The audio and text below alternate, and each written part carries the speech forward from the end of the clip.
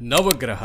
ಇದು ಎರಡು ಸಾವಿರದ ಎಂಟರಲ್ಲಿ ತೆರೆಕಂಡಂತಹ ಹೈಸ್ಟ್ ಥ್ರಿಲ್ಲರ್ ಡ್ರಾಮಾ. ದರ್ಶನ್ ರವರು ಮುಖ್ಯ ಭೂಮಿಕೆಯಲ್ಲಿ ನಟಿಸಿರುವ ಈ ಚಿತ್ರ ಕ್ವಿಂಟಿನ್ ಟೆರಾಂಟಿನೋ ಅವರ ರಿಸರ್ವಾಯರ್ ಡಾಕ್ಸ್ನಿಂದ ಇನ್ಫ್ಲೂಯೆನ್ಸ್ ಆಗಿದೆ ಅಂತ ಹೇಳಲಾಗುತ್ತೆ. ದಿನಕರ್ ತೂಗುದೀಪ ಹಾಗೂ ಎ ವಿ ಚಿಂತನ್ ರವರ ಕಥೆಯಲ್ಲಿ ಸಾವಿರದ ಒಂಬೈನೂರ ಎಂಬತ್ತೊಂದರಲ್ಲಿ ತೆರೆಕಂಡಂತಹ ಮಹಾಪ್ರಚಂಡರು ಅನ್ನುವ ಕನ್ನಡದ ಹೈಸ್ಟ್ ಚಿತ್ರದ ಕೆಲವು ಕಾನ್ಸೆಪ್ಟ್ ಗಳನ್ನ ಅದ್ಭುತವಾಗಿ ಸೆರೆ ಹಿಡಿದಿದ್ದಾರೆ ಅಂತ ಹೇಳಲಾಗುತ್ತೆ. ಮಹಾಪ್ರಚಂಡರು ವಿಜಯ್ ಸಾಸುನೂರು ಅವರ ವಿಗ್ರಹ ಚೋರರು ಕಾದಂಬರಿ ಆಧಾರಿತ ಚಿತ್ರ. ಕನ್ನಡದಲ್ಲಿ ಮೊದಲ ಬಾರಿಗೆ ಪ್ರಮುಖ ಖಳನಟರ ಮಕ್ಕಳು ಮುಖ್ಯ ಭೂಮಿಕೆಯಲ್ಲಿ ಈ ಚಿತ್ರದಲ್ಲಿ ಕಾಣಿಸಿಕೊಂಡಿದ್ದಾರೆ. ಏಳು ನವೆಂಬರ್ ಎರಡು ಸಾವಿರದ ಎಂಟರಲ್ಲಿ ತೆರೆಕಂಡಂತಹ ಈ ಚಿತ್ರ ಆ ಸಮಯದಲ್ಲಿ ವಿಮರ್ಶಕರು ಹಾಗೂ ಜನರಿಂದ ಮಿಶ್ರ ಪ್ರತಿಕ್ರಿಯೆಯನ್ನ ಪಡೆದುಕೊಳ್ಳುತ್ತೆ. ಆದರೆ ಈ ಚಿತ್ರ ಟಿವಿಯಲ್ಲಿ ಟೆಲಿಕಾಸ್ಟ್ ಆಗುತ್ತಿದ್ದಂತೆ ಕನ್ನಡಿಗರ ಪಾಪ್ ಕಲ್ಚರ್ ನಲ್ಲೇ ಸೇರಿಕೊಳ್ಳುತ್ತೆ. ಹಾಗೂ ದಸರಾ ಬಂದ್ರೆ ನವಗ್ರಹ ಸಿನಿಮಾ ನೆನಪಾಗುವ ಹಾಗೆ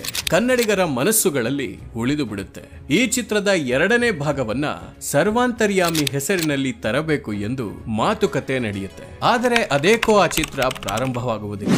ದಿನಕರ ತೂಗುದೀಪ ಅವರ ನಿರ್ದೇಶನ, ಎ ವಿ ಚಿಂತನ್ ಅವರ ಸಂಭಾಷಣೆ, ಮೀನಾ ತೂಗುದೀಪ ಶ್ರೀನಿವಾಸ್ ಅವರ ನಿರ್ಮಾಣ, ಎ ವಿ ಕೃಷ್ಣಕುಮಾರ್ ಅವರ ಛಾಯಾಗ್ರಹಣ, ಟಿ ಶಶಿಕುಮಾರ್ ಅವರ ಸಂಕಲನ ಇರುವ ಈ ಚಿತ್ರಕ್ಕೆ ವಿ ಹರಿಕೃಷ್ಣ ಅವರು ಸಂಗೀತ ನಿರ್ದೇಶನ ಮಾಡಿದ್ದಾರೆ.